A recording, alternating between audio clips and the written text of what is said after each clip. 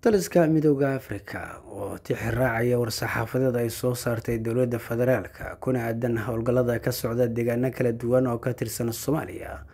ayaa waxa uu xaqiijiyey in uu qeyb ka yahay howlgalka xoreynta loogu magacdaray islamarkaana ka socda qeybo kala duwan oo ka tirsan koonfurta ee bartamaha soomaaliya.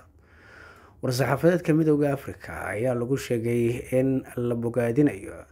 dadaalada lagu xaqiijinayo nabadda soomaaliya islamarkaana ay iska kaashanayaan ciidamada ammaanka soomaaliya iyo ciidanka midooda afrika ee magacooda loo soo gaabiyo atmis kuwaasoo bixinaya taageerada cirka iyo sidoo kale mid dadban oo qeyb ka ah howlgallada guuleystay ee ciidamada dowladda iyo dadka shacabka ah ay kula wareegeen deegaano kala duwan oo ay ka mid yihiin aboore iyo sooman booco iyo sidoo kale sinidhaqo oo ayna ka tirsan gobolka galgaduud ee bartamaha soomaaliya.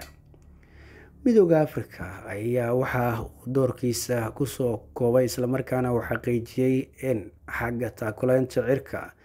iyo sidoo kale taageerada dadban ay qeyb ka tahay. Inkastoo aan lagu sheegin war-saxaafadeedkan in ciidanka lugta ee midooda afrika ay qeyb ka yihiin howlgallada ka socda qeybo kala duwan oo ka tirsan gobollada koonfurta iyo bartamaha soomaaliya